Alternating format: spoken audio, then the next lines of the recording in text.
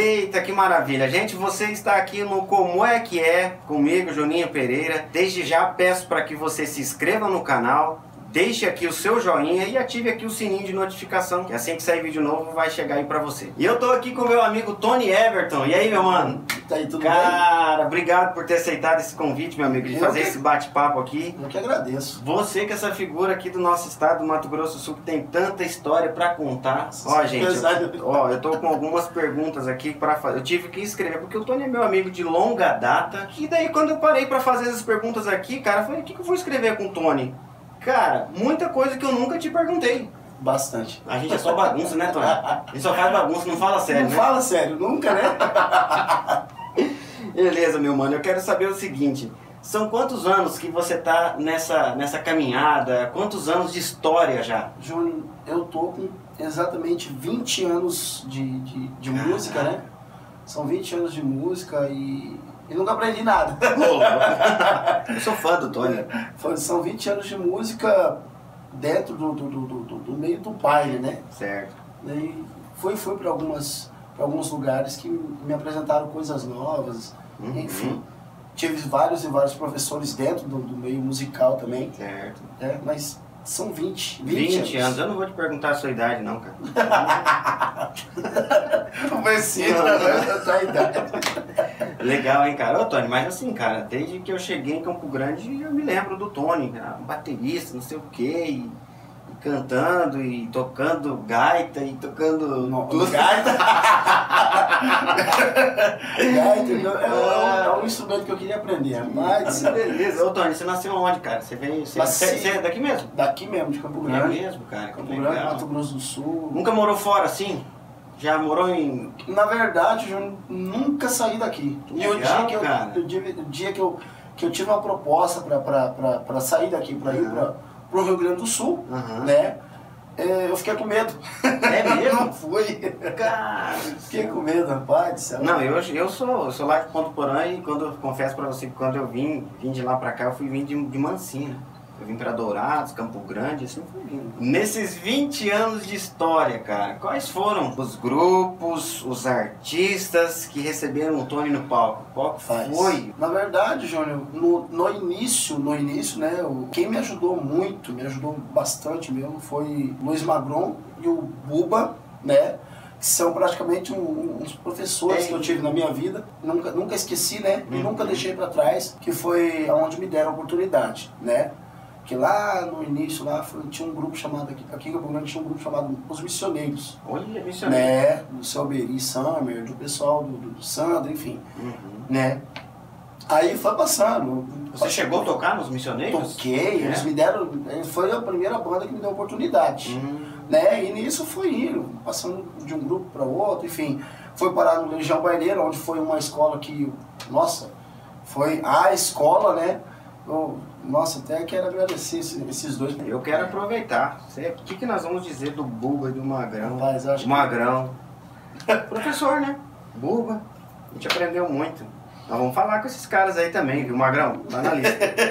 eu quero estar perto, só pra mim. Luiz Magrão. É. Luiz Magrão. É, hoje ele é um grande produtor, né, cara? Tá, é, tá o criador da língua dos boi. Tá? É. Vamos falar isso, isso é verdade. Verdade. E aí, ele pass... passando disso, Júnior, eu fui parar no Canto da Terra, toquei um bom tempo no grupo Canto da Terra, saí de lá, toquei no grupo Carandá. Grupo Canto da Terra, cara? Sim.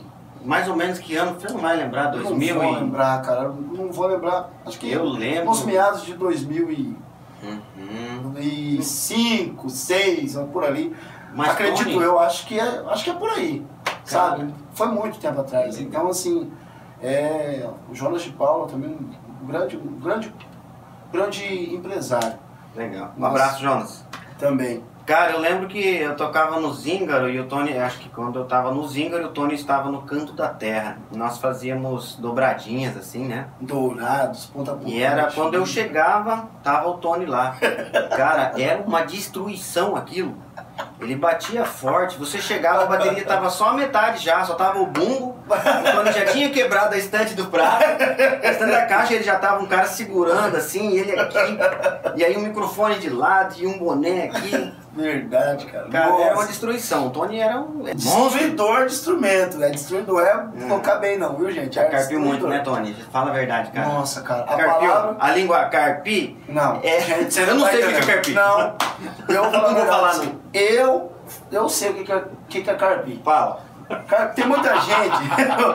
Posso falar? Claro. claro. Então, ó, tem muita gente que fala que, ah, rapaz, puxa, onde, onde vai ser a carpida hoje? Ah, lá em Vamos colocar, estado de São Paulo, sei lá, é. qualquer um. Ah, você vai tocar, ah, cara, uma horinha e meia. Cara, uma horinha e meia. Hoje os caras falam carpi, só que ele tem um hold para colocar um fone, uhum. ele tem um tem, é instrumento é bom. Não, cara, isso não é carpi, não. Não. Você Car... falando a mesma coisa. Carpi mesmo é estourar a pele do bumbo e você colocar o swing pra tocar. O que eu isso, acabei de falar é verdade, tá confirmando. Não, isso são destruidor. Cinco, são cinco horas. é, destruidor. E isso, no lançamento do, do Legião Baileira aconteceu isso. O baile lotado, uhum. né? Muito cheio. E aí na segunda seleção estourou a pele do Bull. Segunda? É, inclusive eu quero até mandar um abraço pro Osmar, cara. Qual Osmar? Osmarzinho Batera. Rapaz, na verdade não era mais dele a bateria, era, era de um outro, acho que do irmão do Manu, uhum. que tocava no Santo Chão, enfim, ele, ele me alugou a bateria, tudo, rapaz. Uhum. E era a bateria do Osmar, que era do Osmar. Qual bateria que era? A Sonor, um azul, nossa. Essa nossa, Sonor azul. Aí fomos, fomos lá pra, pra. Na Viraí, chegou lá, na segunda seleção, estourou o bumbo. Que Aí fazer? eu tive a brilhante ideia de abaixar o surdo não, mas eu não tirei o bumbo daqui, eu coloquei do lado. Certo. E tô, comecei a tocar devagar, Júlio.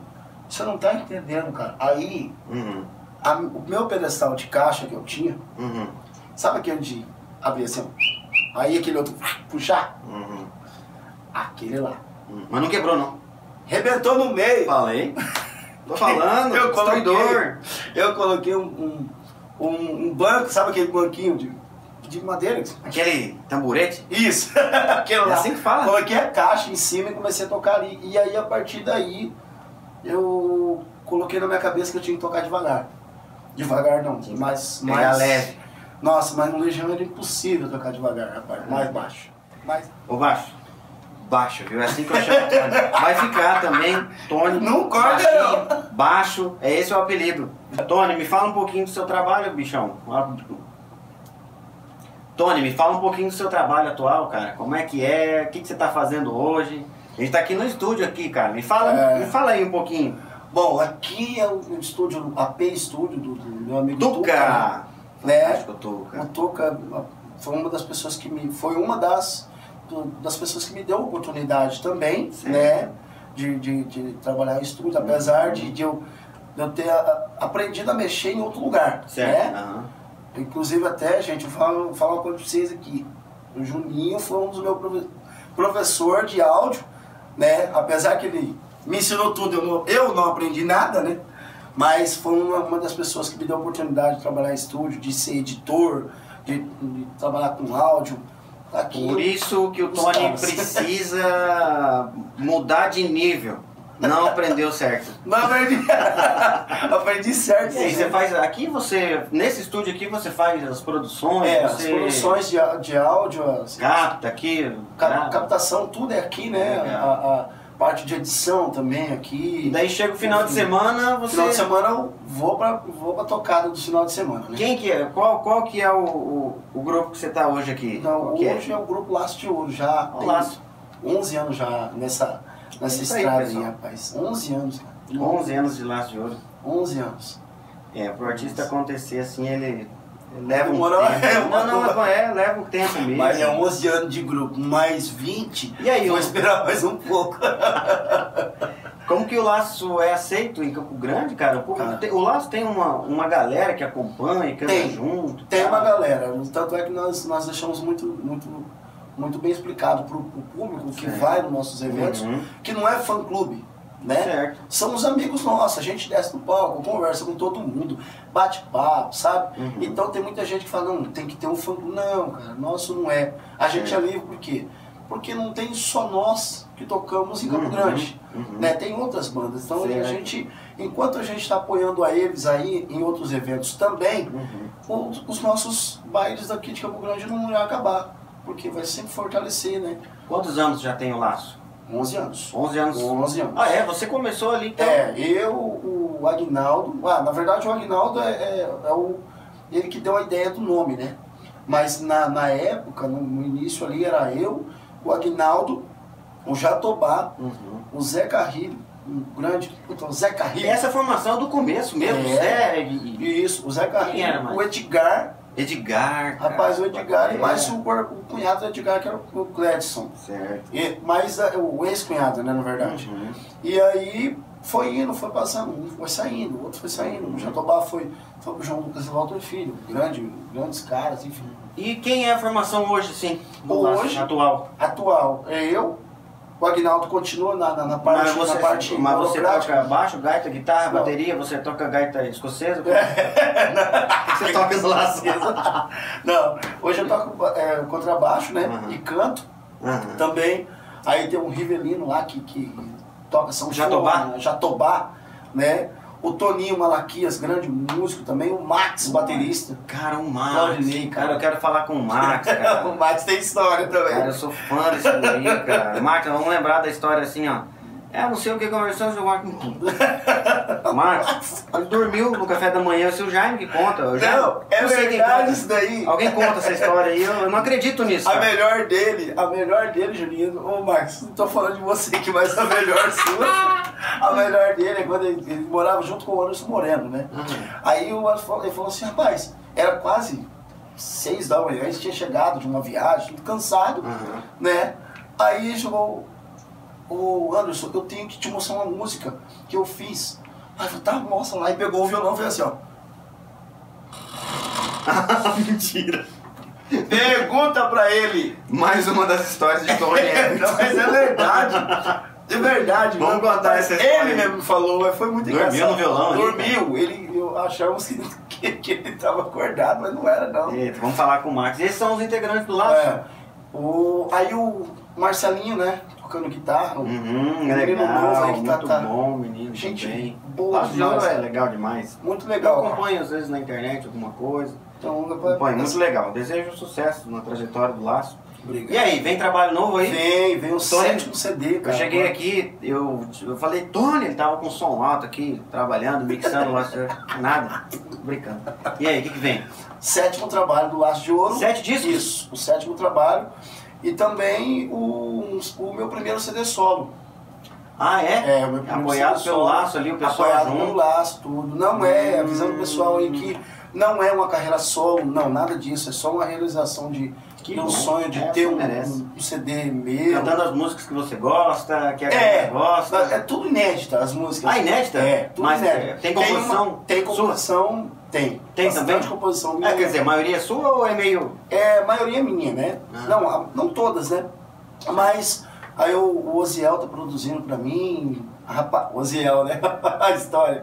E também, mãos, hein? E também tô, tive a honra, João, de, de, nesse CD solo, de gravar uma música do Sandro Coelho, cara. Né? Ele Você deu essa oportunidade. Cara, Sandro Coelho, rapaz, eu vou te dizer uma coisa. A gente teve lá no Rio Grande do Sul, esse cara recebeu a gente lá no estúdio dele. E o Sandro Coelho é um cara espetacular. É, a gente sentou em volta dele lá, acho que a gente ficou umas duas horas lá, como se tivesse ficado dois minutos contou várias histórias. Muito. Nós trouxemos experiências de lá, cara. Ele contou coisas boas. A gente sai motivado quando tá perto. Um abraço, Sandro.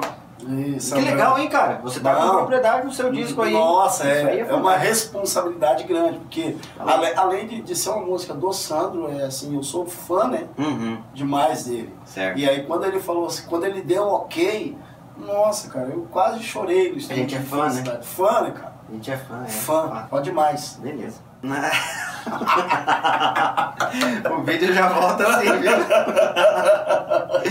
Bom, Tony, é hora de falar um conto, contar uma história engraçada. Você vai contar a sua história aí e eu vou lembrar de outra. Uhum. Talvez estamos pensando na mesma coisa, mas tá aberto. Conta aí uma história, uma coisa engraçada que se passou na trajetória aí, da vida. Bom, vamos lá. lá. Uma coisa que hoje eu dou risada. Antigamente eu não dei risada, mas hoje eu dou certo. muita risada. Eu trabalhava com o Júnior no estúdio e eu era um cara que fumava demais. Muito. Você falou o Júnior, ah, vamos lá. Né? Cigarro. Com, com, eu trabalhava com o Juninho, né? Então era Sim. um estúdio. A gente tinha feito. O Wagner e coisa. É, o Wagner. Mandar um abraço pro Wagner, cara. Uma pessoa que eu amo de verdade, uma eu pessoa também. que me deu oportunidade também, viu? Um abraço, Ju. E outra, rapaz, aí uma, um pessoal lá dentro e eu fui lá fora. Acendeu um cigarro. Dá uma pitada. Fumado. Gente, você não tá entendendo. Tem, o fumante não sabe, ele não sabe. Eu fumei o cigarro lá fora. Na hora que eu entrei pra dentro, aquele cheiro entrou comigo, sabe? Alguém tá aí do lado. O Edinho olhou pra mim. Para de fumar, bicho. Por que, cara? Cara, você tá vendo cigarro? Eu não fumei. Isso que eu falei ainda que não fumei, Júlio. Rapaz, isso daí foi uma, foi uma coisa muito engraçada que eu depois eu dou muita risada disso. Uhum. Porque até o, Magro, o dia que você conversar com o Magro, ele vai falar, cara, eu era muito fedido. Ei, você. verdade. Aí, Magro, é verdade, cara? o Magrão vai falar isso aí. Rapaz, é uma situação aí misturava o cheiro de cigarro, perfume, com perfume com CC, nossa, gel, tudo. Aí chegava lá, rapaz, o povo falava, esse menino aí, como que consegue trabalhar aqui dentro, né? Tudo fechado. E isso daí foi uma lição, inclusive até quero, cara, agradeço a Deus, né, primeiro, ao Senhor Jesus. Segundo, eu agradeço ao Juninho e ao Edinho, Edinho, você é um cara que eu amo também, viu? Foi os dois caras hum, que, que me deram oportunidade para poder. Foi com que eu comecei a enxergar uma outra realidade, né? Foi, foi, fui para uma revisão, né? uma revisão de vidas, aonde aconteceu. Esse... Gente, eu vou falar a verdade pra você. Não sinto faz exatamente um total de 5, 6 anos por aí. Por aí. São 5, 6 anos que eu não fumo mais. Você parou de fumar assim e falou, ó, joguei fora e nunca mais mexeu com isso. Não, Mas nem vontade não sentiu? Não, cara. Mentia muito também, o Adinho? Muito! Fumou, Tônio, não? Não, é aquele cheiro, né? Não, fumei. Mas, só, cara, não Parou de fumar? Parei de fumar. Não, graças a Deus, pai, são são tantas, são tantas coisas que, que aconteceu de reforma durante isso, né? Isso. Eu era uma casa velha que. Continua velha ainda, né? Sim, cara. Tony é um cara que eu sempre gostei, sempre foi. Tony, na verdade, sim, eu sempre gostei de você estar por perto ali, porque o Tony tem uma grande qualidade, cara, não tem tempo ruim. E aí, Tony, vamos fazer? Eu pensava, o Tony já estava fazendo, chegava mais cedo que eu no estúdio, já tinha café, e o, a mesa já estava ligada, os negócios tudo funcionando. Então é um cara legal. Beleza, Baixinho? É o seguinte, cara, dentro do quadro aqui, como é que é, tem uma parte que você tem um tempo, menos de um minuto, para você falar com quem você quiser. Ele ou ela. E aquele, aquele celular vira essa pessoa, esse ou essa, ou não sei o que. É contigo. Eu, na verdade, eu, eu não queria direcionar para uma pessoa só, ah. né? Não vou direcionar. Geralmente tem pessoas que vai, vai direcionar para uma só, mas não, não vou fazer isso. Eu quero agradecer a todas as pessoas que confiaram no Tony pessoal, não no Tony músico, tá? Que acreditaram na minha pessoa, que aquelas pessoas que me apoiaram, que me ajudaram na, na hora que eu mais precisei assim, porque infelizmente para muitos andar sozinho é melhor, mas não é, gente. Na verdade, você sozinho você não vai para lugar nenhum. Então, quero agradecer as pessoas que confiaram em mim, aquelas pessoas com quem eu, com quem eu, eu falhei, é, tanto pessoalmente como financeiramente, enfim, eu quero falar para vocês que confiem em mim. Um dia, um dia eu acerto contigo, tá? Tá bom? que legal. E outra coisa, aquelas pessoas que passaram na minha vida, sabe? Que passaram na minha vida, eu desejo a elas toda a paz, toda a saúde, toda felicidade, que Deus possa estar prosperando na sua vida para o seu crescimento, tá bom? Mas eu desejo que você seja maior que eu. Parabéns, Tony. Pô, parabéns pelas palavras. Achei que o Tony ia direcionar. Tá certo, tá valendo. Achei. Beleza, cara. Obrigado pelo tempo. E vamos indo para as nossas considerações finais. Quero deixar aberta aqui a câmera do como é que é para você falar o que você quiser. Te desejo sorte. Bom, à vontade. Eu, eu quero agradecer a você, Júnior por estar tá me dando a oportunidade de contar um pouco da minha história para quem não me conhece. Aliás, resumido, resumido né? Resumido, né? Resumido. Uma, uma, for, for parar para contar essa história que não vou ah, ficar. É longa. É longa, né? E agradecer também a, a, a, esse, a essa brilhante ideia que você teve É, Porque isso é, cara, são, são pessoas que o mundo não conhece, mas que têm histórias legais. Eu mesmo sou um, eu, eu mesmo sou, sou um, um cara que vivo assistindo demais como é que é. Que legal. Eu assisto e eu, eu morro de rir, gente. É engraçado demais. tem, não tem, você tem que ver as histórias. A história do Edinho. Não, ele é figura. Não, o Edinho é demais. Ele é figura. Que, não, o, do Cícero. Por que o Cícero é tão sério? Cícero trabalhou com o Celso Portioli, cara. Verdade. Meu irmão me inspirou. Cícero é, é pessoal. Abraço, meu irmão. Mas Saudade, quero, viu? Eu quero muito agradecer a você por, por dar a oportunidade. Né? Obrigado. E, gente, como é que é? Eu vou falar a verdade pra você.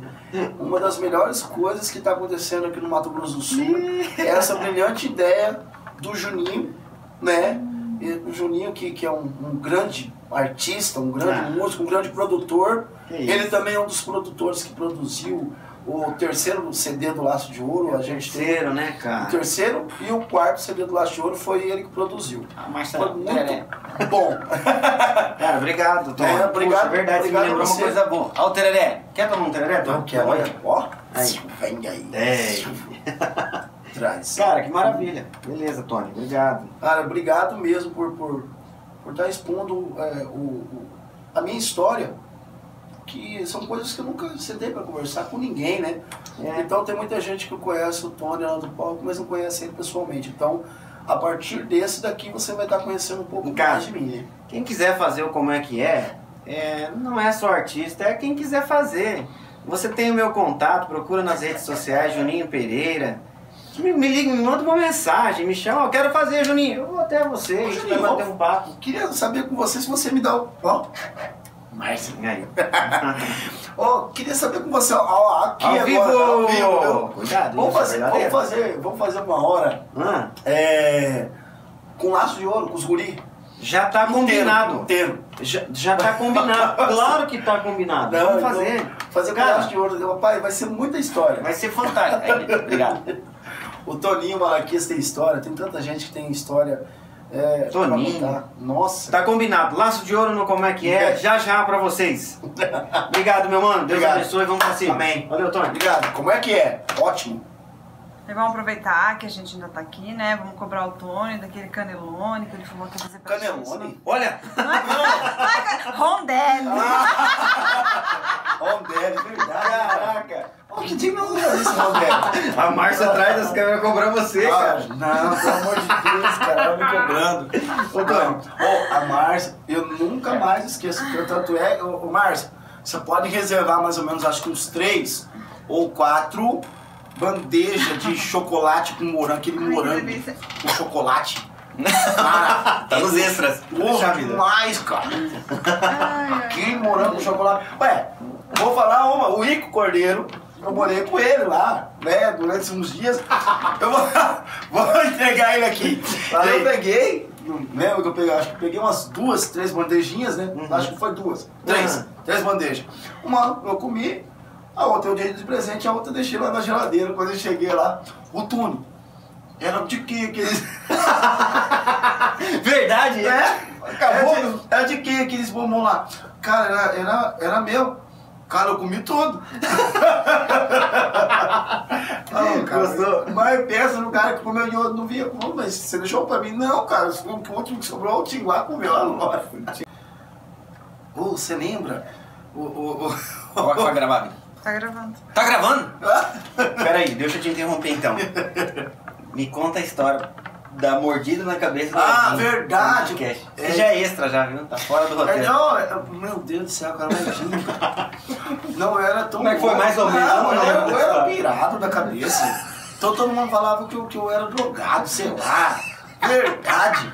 Aí o que que acontecia? Aí eu desceu, chegou um ônibus do canto da terra, Aí chegou um ônibus do Zíngaro, aí você. Uhum. O Juninho, é muito legal, o Juninho é. Você não me via, né? Não, o dia que ele desceu foi, foi o dia que eu achei que ele tava bravo comigo. Eu achei que você tava bravo. Eu vou, ô Juninho. Que período meu, né, cara? Te conheço? Ah, que isso? Não, você tava fazendo uma brincadeira. Ah, te conheço? É, te conheço. Foi embora, eu falei, cara, o que que eu fiz? Ô Edinho, você aqui, cara. Peguei, abracei o Edinho ah, na cabeça dele, mordi. Cara. Mordeu a cabeça Eu dele. achava, não, Mas era- deitou ele no chão, não? Não, Mordeu a cabeça e deitou ele por cima dele. Eu acho que era isso, E o que, cara. que o Edinho fez, cara? Ficou ali. O Edinho queria me matar, o sonho dele era me matar. Olha, Certeza. cara. Porque eu achava que, bom, como o Bubo fazia muito com a gente, eu achava que todo mundo É normal. ia aceitar. eu achava que todo mundo ia aceitar isso, cara, mas não é. Rapaz, é guri, né? Guri. Ô, Tony, manda um abraço pro Laílson aí, cara. Mentira. O Lailson, Você era cara, o bagacinho. eu, todos os dias, eu ia na casa do Lailson e encher o saco dele. E eu, como, como eu era um cara muito sozinho, né? Eu queria estar junto com eles. Eu, lá, eu tinha um cadete. E ia lá pro, eh, ia lá pro Zíngaro, lá pros ensaios, eu ia, eu ia junto. Olha,